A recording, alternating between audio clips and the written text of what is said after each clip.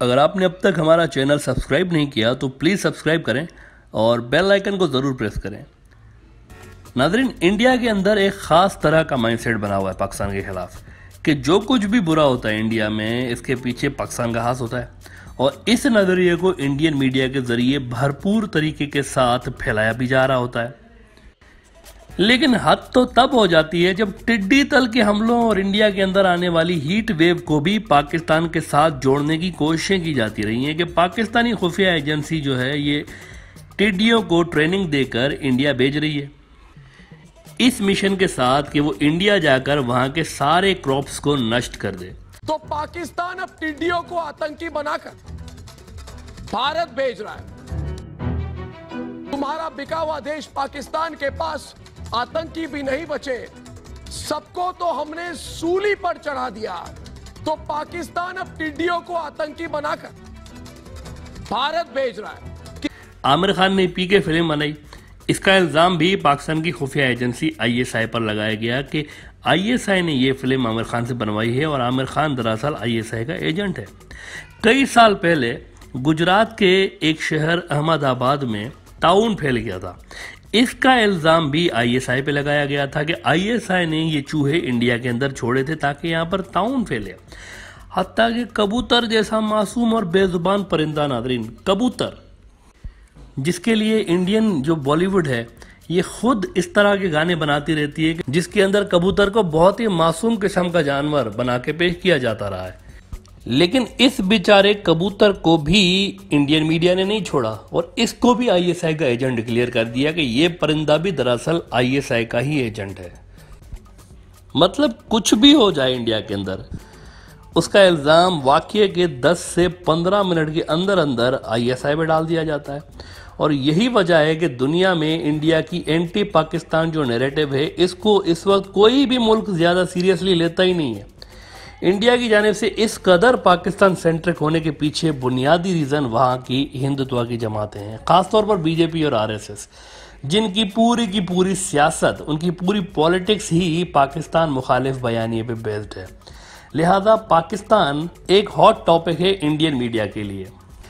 क्योंकि पाकिस्तान मुखालिफ जो प्रोपोगंडा है, वहाँ की मीडिया में बिकता है।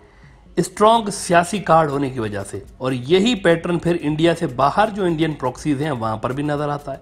ख़ास तौर पर बांग्लादेश के अंदर। बांग्लादेश की सियासत को अगर आप करीब से एनालाइज करें तो उसके दो रुख नज़र आएँगे आपको। एक बांग्लादेश की वो जमातें हैं जो कि इंडिया मुखालिफ हैं और शुरू से ही इंडिया मुखालिफ रही हैं, जिसकी बुनियादी वजह दरअसल इंडिया की जानब से बांग्लादेश के साथ होने वाली ज़्यादतियाँ हैं।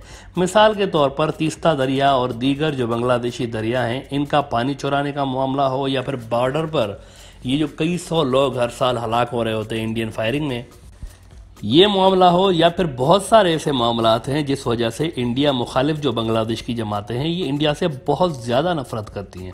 और इस चीज़ के ख़िलाफ़ हैं कि बांग्लादेश इंडिया के साथ बराबरी से हट के यानी बराबरी की बुनियाद से हट के कोई रिलेशंस रखे इंडिया के साथ, ये जमात है एक तो। लेकिन दूसरा जो रुख है, वो बांग्लादेश की सियासत का वो रुख है जो कि प्रो इंडिया है और एंटी पाकिस्तान ग्रुप्स हैं, जिनकी सुई आज तक 1971 पे अटकी हुई है। और इनसे अगर बात की जाती है कि जनाब सी ए पे इंडिया जो है वो क्यों इस तरह की पॉलिसियाँ बना रहा है, या फिर आज तक इंडिया जो है क्यों पानी चोरी कर रहा है बांग्लादेश का, या फिर क्यों लोग इतने ज़्यादा हलाक हो रहे हैं बांग्लादेश के बॉर्डर पर तो जवाब आता है कि भले ही हज़ारों लोग और मार दिए जाए इंडिया की जानब से बांग्लादेश के बॉर्डर पर, लेकिन इंडिया फिर भी हमारा बहुत ही अच्छा दोस्त है, पाकिस्तान मुर्दाबाद। अच्छा इस ग्रुप के सियासतदानों को फिर बांग्लादेश के अंदर इंडिया के जो एजेंट्स हैं, ये कहा जाता है। ये याद रहे कि ये जो प्रो इंडिया ग्रुप है, ये बहुत ही पावरफुल है। इसमें कोई शक नहीं है।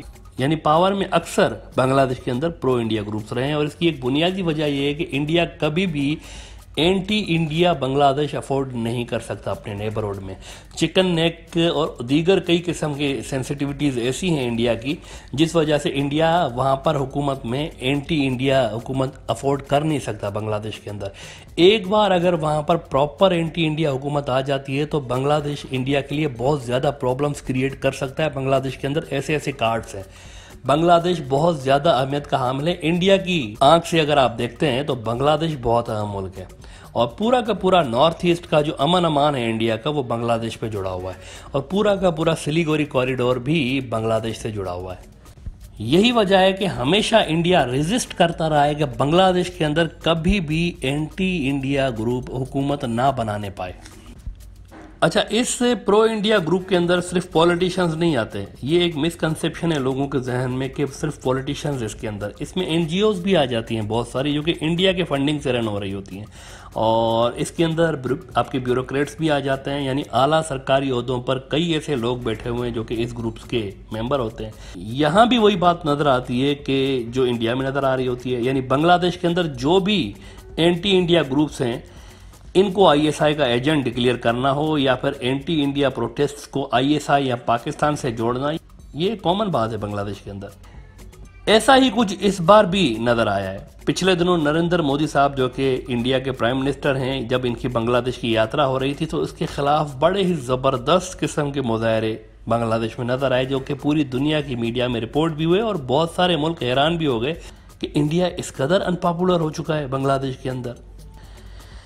जब इन प्रोटेस्टर्स से पूछा गया कि आप क्यों एहतजाज कर रहे हैं तो उनका कहना था कि इंडिया के अंदर सी ए नाफिज करके वहाँ के मुसलमानों से मोदी साहब सिटीजनशिप छीन के इन सबको बांग्लादेश भेजना चाहते हैं। वहाँ कई कई सौ साल पुरानी मस्जिदें तोड़वा कर मंदिर बनाए जा रहे हैं।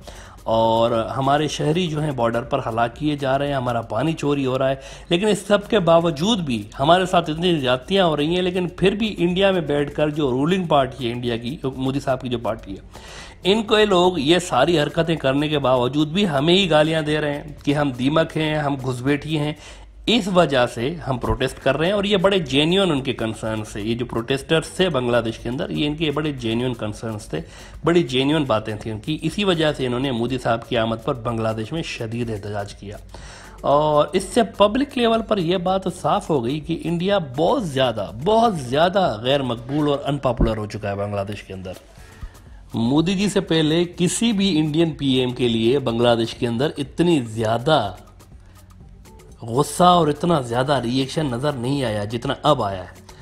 इस पे जो प्रो इंडिया हजरात है बांग्लादेश के अंदर, ये भी सख्ते में आए हुए हैं कि ये हो क्या गया है कि लोग इतने ज़्यादा इंडिया के खिलाफ हो चुके हैं। और द इकोनॉमिक्स टाइम्स इंडियन अखबार है, ये रिपोर्ट कर रहा है कि Bangladeshi parliaments blames Pakistan for backing anti India protest ahead of PM Modi visit और अखबार लिखता है कि हमारे सूत्रों के अनुसार बांग्लादेश की हुकूमत इस पर इन्वेस्टिगेट कर रही है कि क्या वाकई आई एस आई था इस सब के पीछे। अलबत्त किसी एमपी का नाम नहीं लिया गया कि किस एमपी ने ऐसा कहा है कि बांग्लादेश के अंदर ये सब आईएसआई ने करवाया। लेकिन एक सवाल है कि जनाब मोदी साहब के खिलाफ साढ़े चार महीने से इंडियन किसान भी तो सड़कों पे बैठे हुए हैं। ये जो लाखों लोग दिल्ली के बाहर बैठे हुए हैं तो ये प्रोटेस्ट कौन करवा रहा है? क्या इसके पीछे भी आई एस है बांग्लादेश के दौरे के बाद जब मोदी साहब साउथ इंडिया गए तो वहाँ पर भी मैसिव प्रोटेस्ट हुए। साउथ इंडिया के अंदर भी कि ये क्यों आ रहे हैं यहाँ पर? तो क्या ये भी आईएसआई ने करवाया था? इंडिया के अंदर लाखों डॉक्टर्स ने एहतजाज किया कुछ महीने पहले। लाखों स्टूडेंट सड़कों पर आ गए। दलित आ गए सड़कों पर। सीए पे मुसलमान आ गए सड़कों पर। दिल्ली के अंदर लाखों मुसलमान तो क्या ये सब भी आईएसआई ने करवाया? अगर इन प्रो इंडिया लॉबीज की बात मान ली जाए तो कंक्लूजन ये निकलता है कि मोदी साहब आसमान से उतरे हुए नन्हे मुन्ने से क्यूट से कोई पवित्र किस्म की मखलूक हैं। इन्होंने आज तक कुछ गलत किया ही नहीं है। जो कुछ गलत हुआ है, सब आई एस ने करवाया। ना मोदी जी के दौर में बांग्लादेश के बॉर्डर पर कभी कोई किलिंग्स हुई है, और जो कुछ भी लोग हलाक हुए हैं, दरअसल आई ने आकर हलाक किए हैं। और ना ही इंडिया की जानब से कोई पानी चोरी किया गया है बांग्लादेश का। जो भी पानी चोरी हुआ है, दरअसल आई आईएसआई रातों रात टनल बना के, यानी पाकिस्तान से टनल बना है, इंडिया को क्रॉस करते हुए सीधा आया है तीस्ता रिवर पर, और उस टनल के ज़रिए आईएसआई ने पानी चोरी किया है। मोदी साहब ने तो किया ही नहीं है। तो अगर इन हजरात की बात दुरुस्त मान ली जाए तो बीजेपी और मोदी साहब कभी कुछ गलत कर ही नहीं सकते। जो कुछ भी गलत किया है, पाकिस्तान ने किया है।